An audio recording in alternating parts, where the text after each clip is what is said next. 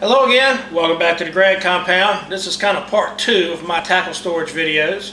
And what I want to show you today is what you do with all those great big lures for rockfish, etc. when you get back from fishing and you have to put everything away.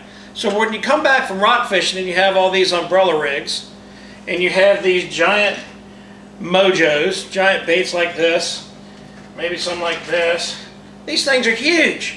What are you going to put them in? You're going to try to squeeze them into this?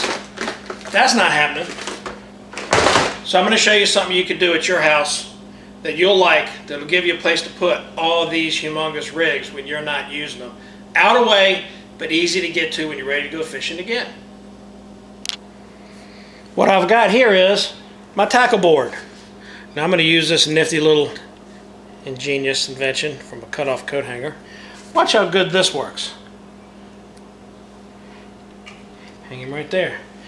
Now I'm going to give you a little bit better view of this tackle board and why this is such a great way to store your tackle. Here it is from the end. And you'll see I've got quite a bit of stuff on this board. That thing must weigh over 100 pounds. It's simply a 2x4 suspended from the ceiling with pulleys.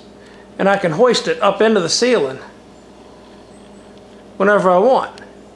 Just follow the ropes on down. There's two more pulleys right there.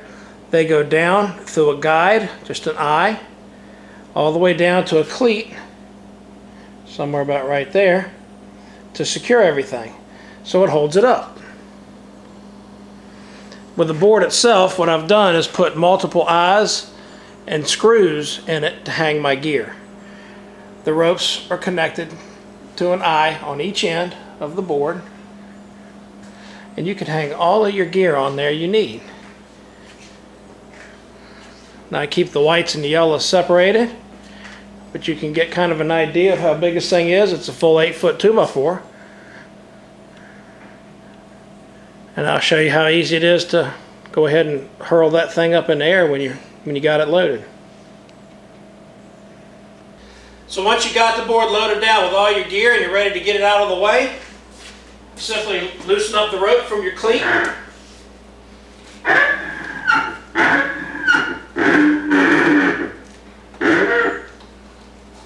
Tie it off. All done. Everything's out of the way. Nobody can get a hook in them. You don't have to clutter up your shelf space. Everything's easy to get to. There's a shot of what it looks like up there. Everything's good to go, out of the way. So there you have it. That's a great way to store your big fishing gear, big fishing lures out of the way, yet easy to get to. So I hope that helped you guys out. Check out some of my other videos while you're here. Hit that thumbs up like button, subscribe to my channel, and I'll see you next time.